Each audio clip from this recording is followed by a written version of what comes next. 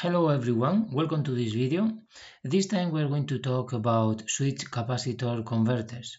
This is an introductory video to this type of converters and first we will see an introduction, then we will present the voltage follower switch capacitor converter, we will analyze this converter, then we will present a design example and finally we will show some simulation results. Please note that in this presentation we will be using components available from the library control.lib which is available from my website and for more information please take a look at this series in which we show how to create a Simulink compatible control library. To understand the basic behavior of a SCC converter, we need to revisit the exchange of charge between two capacitors. Here on the left we can see two capacitors C1 and C2. The capacitance of C1 is C and the capacitance of C2 is N times C.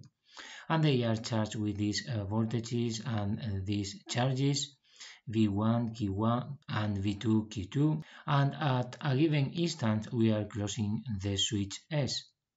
So we are going to have a situation that, like this, in which both capacitances are in parallel and they are going to have the same voltage V.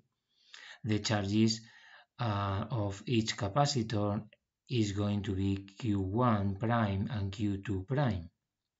So our objective here is to obtain this final voltage V.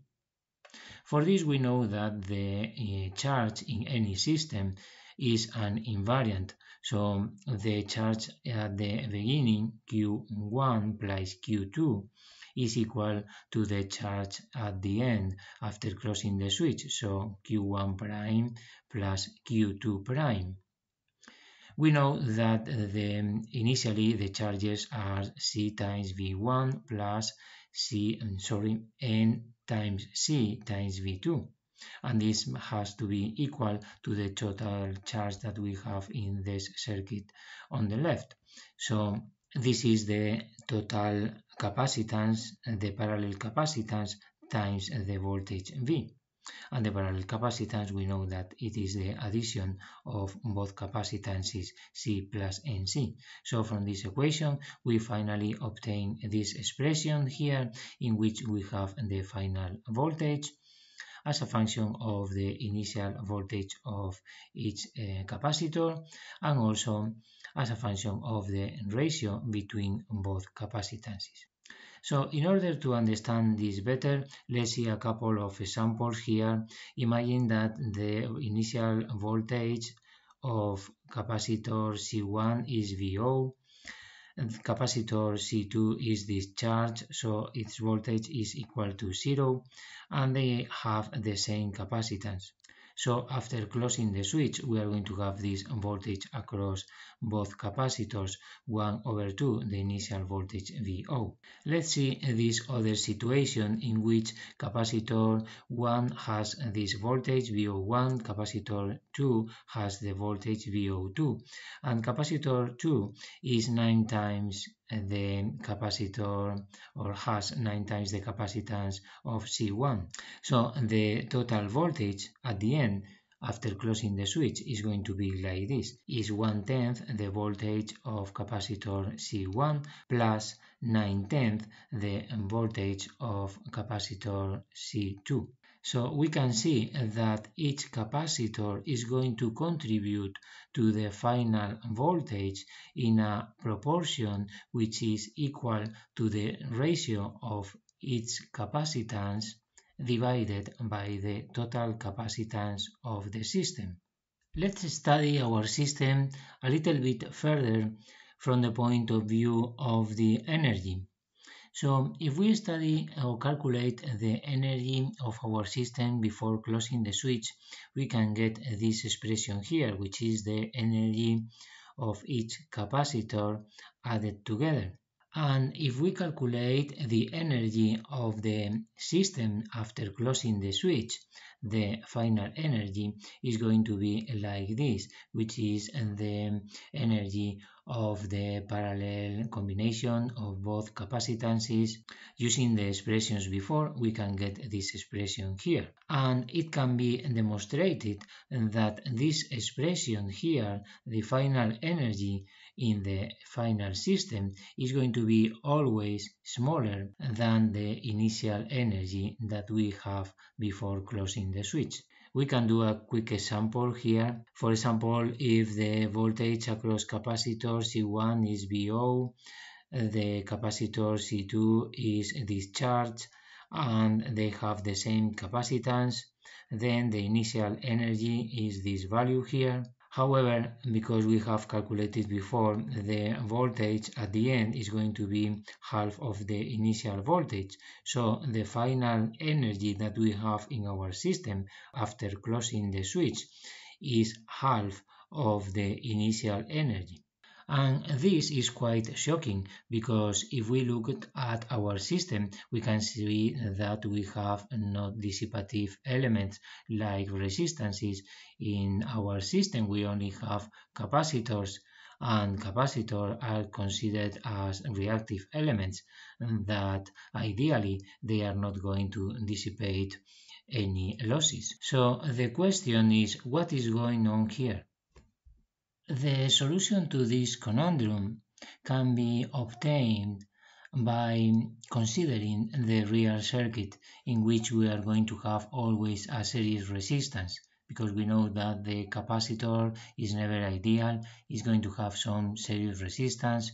Also the switch is not ideal and we also are going to have some series resistance. So all these resistances are going to add together. So we are going to have a total series resistance in our circuit, Rs. So when we are closing the switch, we are going to have a situation like this, in which the current that is circulating in the circuit is going to have a peak and then um, exponential evolution until reaching the value zero. The peak current is given by this expression here, the difference of the voltages uh, across both capacitors divided by the total series resistance in our system. So it is unavoidable that we are going to have some losses in our system and these losses are going to be dissipated in the series resistances that we have in our circuit. These losses can be calculated by using, of course, this expression here that gives the energy that is going to be dissipated during the process. What is really curious here is that the energy that we are going to have dissipated in this circuit is independent of the series resistance. If we have a very small resistance, then this peak is going to be very high, but the time constant here is going to be very small and it is going to reach zero very quickly. If the series resistance is higher, then the peak is going to be smaller, but it's going to take more time to get zero due to the higher time constant. So at the end, the losses keep constant. And this occurs even in the ideal situation in which we can have um, zero series resistance. In this case, what we are going to have is a very high peak in the current, ideally tending to infinite, during a very short time period. In this evolution, we can calculate the power as an infinite current squared times zero resistance and this is indeterminate and this indetermination can be solved as we have seen in previous slide by the difference of the energy before closing the switch and after closing the switch. So now we can see a first circuit, the voltage follower switch capacitor converter, which is the simplest one. So in this case, we have one switch capacitor here, capacitor C, and two switches S1 and S2. Then we have the output capacitor, CO, and the load resistance. Here at the bottom we have the signals to drive both switches. During a given time interval T on, the switch S1 is closed and the switch S2 is open. Then we have a small dead time between both uh, the activation of both switches and then we turn on switch 2 during a given time t on and then we have another dead time and then we continue like this. In the simplest operation mode which is the one that we are considering here we are supposing that this t on time of the switches is long enough so the capacitors are going to be charged and discharged completely. To study the operation of the voltage follower, let's consider first the circuit with no load as shown here in this slide. So in the first interval we are closing uh, switch S1 and then we are going to charge capacitor C up to the voltage VI. So we are going to have a current pulse here like this and capacitor C is going to be charged up to VI. Then in the second interval, interval phi 2, we are closing switch 2. So we are exchanging or sending charge from capacitor C to the output capacitor. So we are going to have another current pulse here. So the output capacitor is going to increase its voltage a little bit each time we close switch S2. This is the same process that we have seen in previous slides. So the evolution in each interval is going to be like this. Every time we perform a complete cycle, the output voltage is increasing a little bit, in the next cycle a little bit, and so on, until reaching the same value at the output as at the input uh, voltage. Let's see this very quickly with an LTspice simulation. Here we have our circuit. The input voltage is 12 volts. We have the capacitor C1 of 10 microfarads and capacitor C2 of 90 microfarads. And it is operating uh, with no load.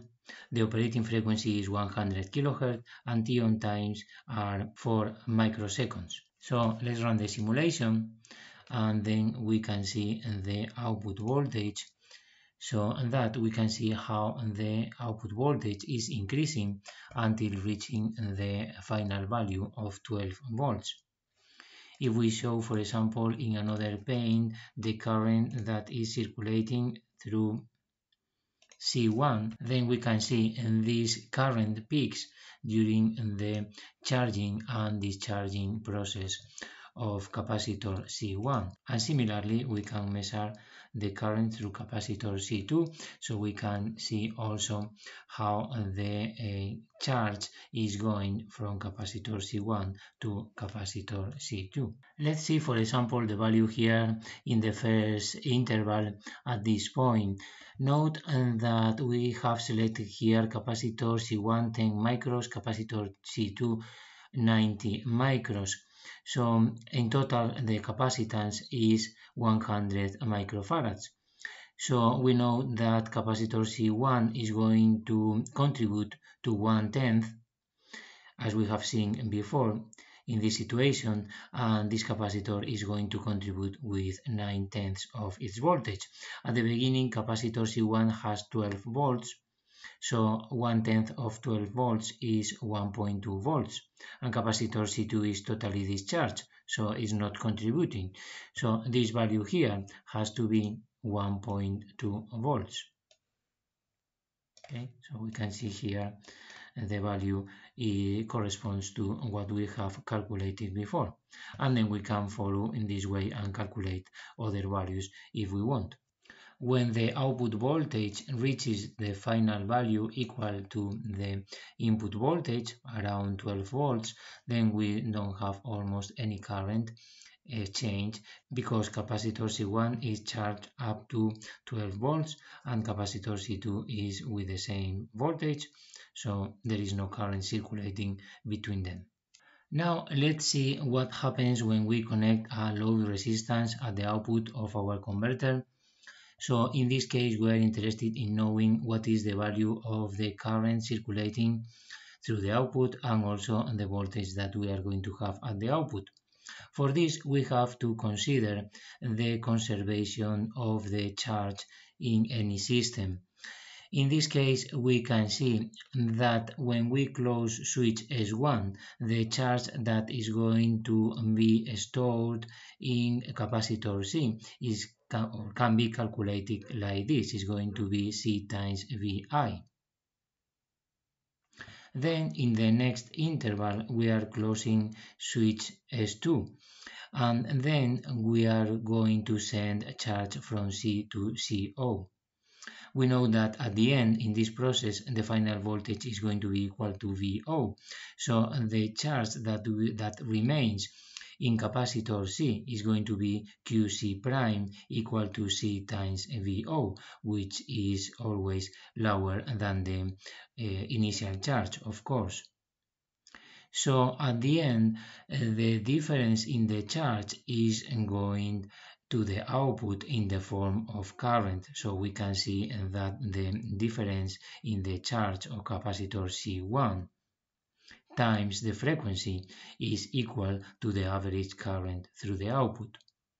Because we know that at the end the average current through any capacitor is equal to zero, so the average current through capacitor CO is zero. So from this equation we can operate substituting the value of delta Q with uh, the difference of this uh, QC and QC prime um, substituting then we obtain this final expression.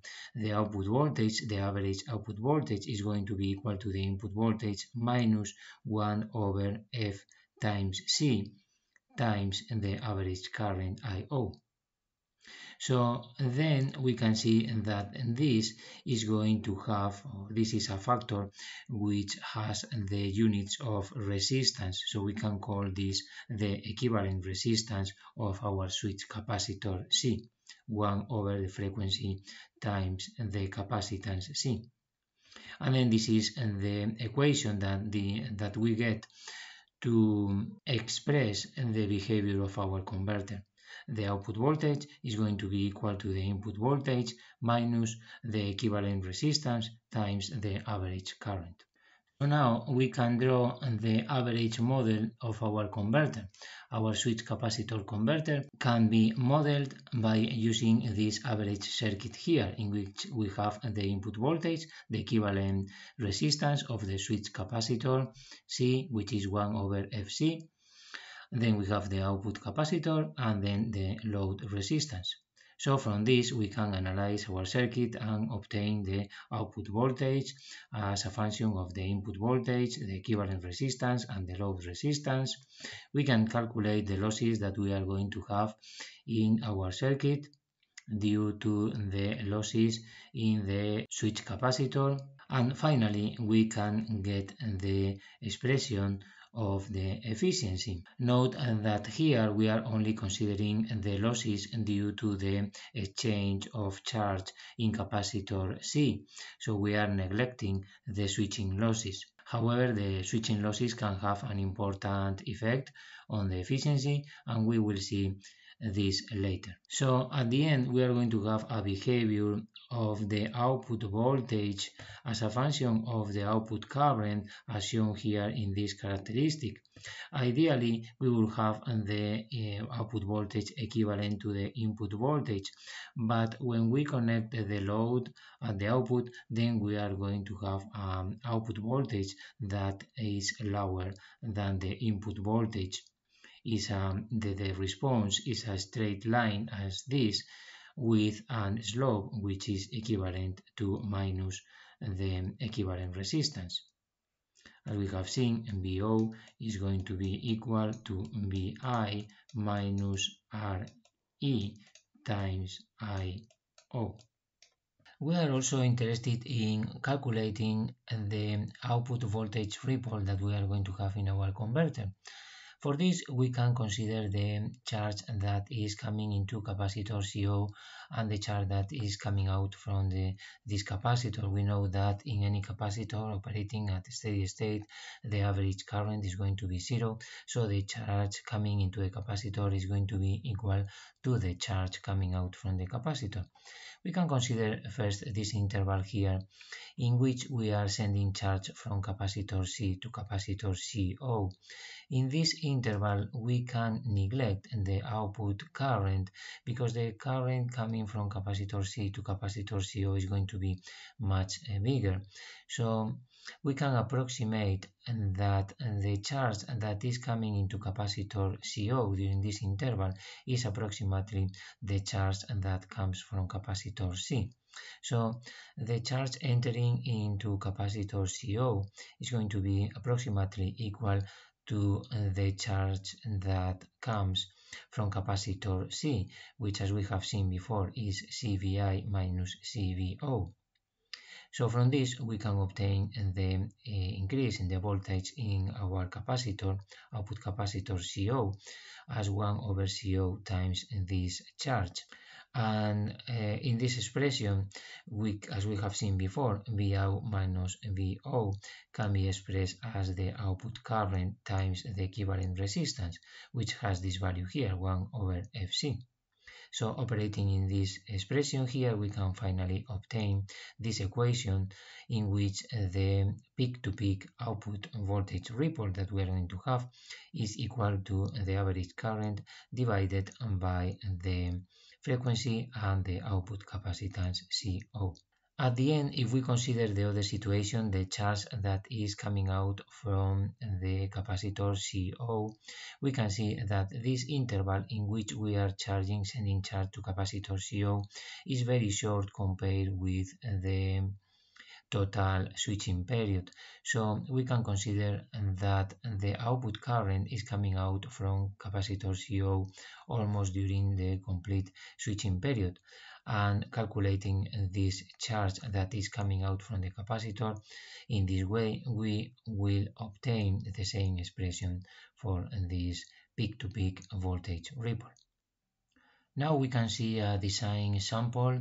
Here we have selected a switching frequency of 100 kHz and the capacitance of our switch capacitor is 10 microfarads. So the equivalent resistance of the switch capacitor is going to be equal to 1 ohm. The input voltage is 12 volts and the output capacitor is 90 microfarads and the uh, load resistance is 10 ohm. So with the equation that we have seen before, we can obtain the DC output voltage equal to 10.9 volts. The output current is going to be approximately 1.1 amperes and the output power around 12 watts. So the losses are going to be around 1.2 watts and the efficiency that we are going to expect is around 91%. We can also calculate the peak-to-peak -peak voltage ripple that we are going to have at the output using the expression that we have just seen and we obtain 121 millivolts. So as we have seen also we can draw our average circuit which is going to be like this in this case and this circuit is going to provide not only the DC values for the output voltage and the output current but also gives information related to the dynamic of our circuit. For example, we can see that we have the equivalent resistance, the capacitance, the capacitance, and the load resistance. So the evolution of the output voltage during the startup is going to be an exponential evolution like this one. The time constant of the circuit uh, would be given by would be given sorry by this expression here the uh, resistance, the equivalent resistance in parallel with the load resistance times the output capacitance.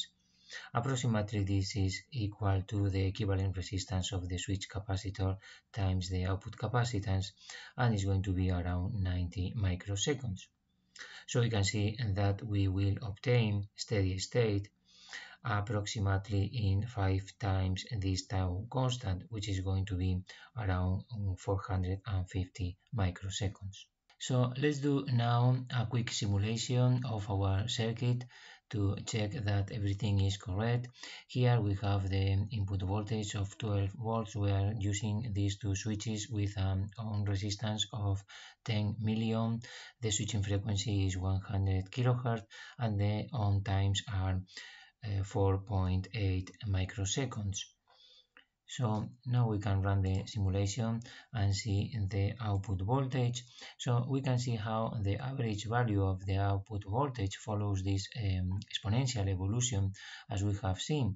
And we are reaching steady state around this point here uh, eh, for 450 microseconds as we have seen. We can also check uh, the uh, output voltage ripple. Here if we look at this voltage so we can measure the voltage ripple like this going from this point to this point approximately. So we can see that the uh, ripple is here is 110 millivolts very similar to the value that we have just calculated now let's do a simulation operating in a steady state so we can check the losses and the efficiency of our converter. We have included here these statements to calculate the uh, values of the currents at the input and at the output and also the voltages and the uh, output uh, power and the input power and the efficiency so now we are going to save only information for from 700 microseconds to 800 microseconds to do the calculations in a steady state. So we are now run and we can see for example the output voltage. So we can see that the steady state uh, voltage is 10.86 volts very similar to the value that we have seen in our analysis before. And then if I come here to this pane and on the keyboard I press Ctrl L then we can see the log file we can see that the output power is 11.8 watts the input power is 13.4 watts and the efficiency is 88 0.3%. So this is a little bit lower than the uh, theoretical value that we have calculated. And the reason is that in the theoretical value, we are neglecting the switching losses that we have in the switches. We can see now, for example, also the current in the uh, capacitors, capacitor C1, this will be the current uh, coming into capacitor C1 and coming out from capacitor C1 and also in another pane maybe we can see the currents uh, the current circulating through capacitor C2. So we can see that the uh, capacitor C2 is receiving this current here from capacitor C1 when capacitor C1 is discharging. A very interesting feature of switch capacitor converters is that they are bidirectional. So now uh, I can take, uh, for example, the voltage source from the input to the output and the load from the output to the input and I don't have to do anything else. The converter is going to send energy in the other direction. Let's see this. I'm going to take this here and I'm going to move both the resistance at the output capacitor to the input and reduce the connections. So I'm going to draw here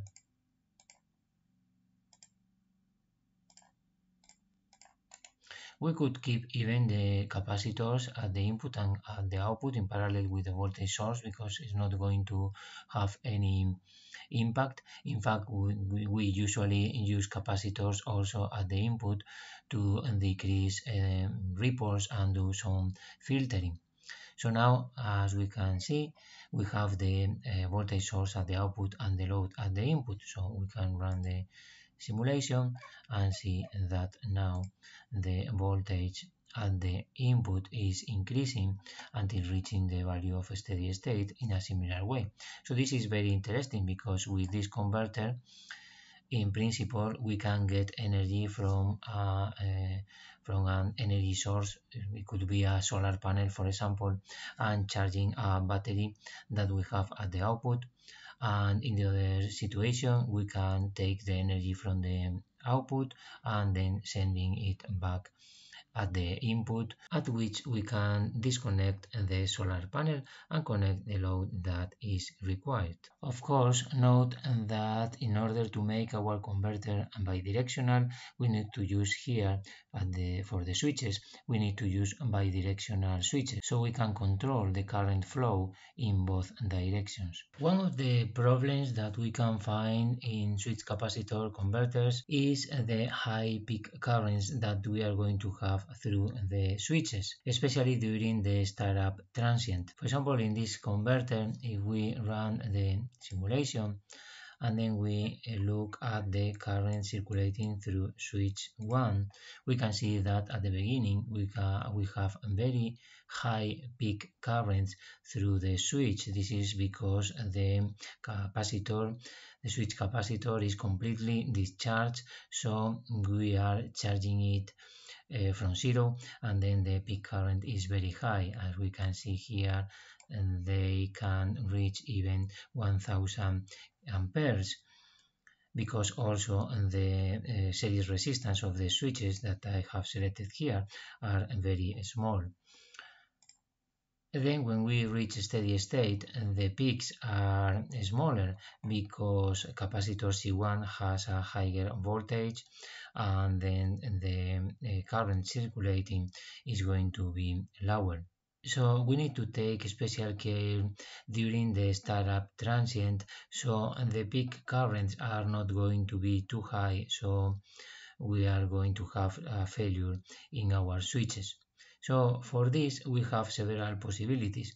One possibility is not to select so very good switches with a so very low uh, series resistance. If, for example, we select here switches with 100 ohm uh, resistance and run the simulation again, then we can see that the peak currents are going to be more reasonable around 100 amperes here. We can see also the current through switch S2 so it's going to be similar and in a steady state the values are also more reasonable around 12 amperes. And remember that by using a higher series resistance here we are not increasing the losses of our converters that at the end depend on the uh, series equivalent series resistance of the switch capacitor. A second possibility to decrease the startup current is to use some additional circuitry so we can charge capacitor C1 and capacitor C2 at the beginning through a series resistance so then they are not going to start uh, from the beginning with a very low value and therefore we can decrease these peak currents during startup. And uh, finally, a third possibility is to do a startup of this input voltage. So we are not going to apply directly 12 volts to our converter, but what we can do is to increase slowly this uh, voltage. So uh, the startup currents are going to be also lower. Let's do a quick simulation of this. Here now we are using um, a pulse voltage source in which we are going to increase um, slowly the voltage at the input so that we can implement the soft start.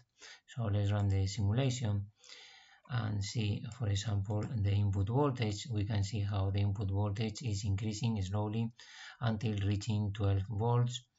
The output voltage, of course, is going to take more time to reach steady state, but on the other hand, we can see how the current through the switches is going to be much more under control. Here the maximum value of the peak current is below 36 ampere.